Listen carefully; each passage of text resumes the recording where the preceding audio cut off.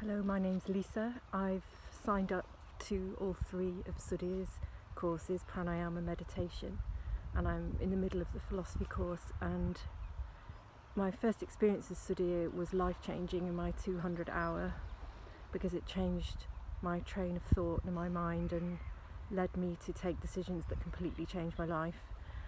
And now I feel like in these courses there are daily mind blowing nuggets that are also seeding in my brain for future changes. I'm just arriving at more and more clarity all the time.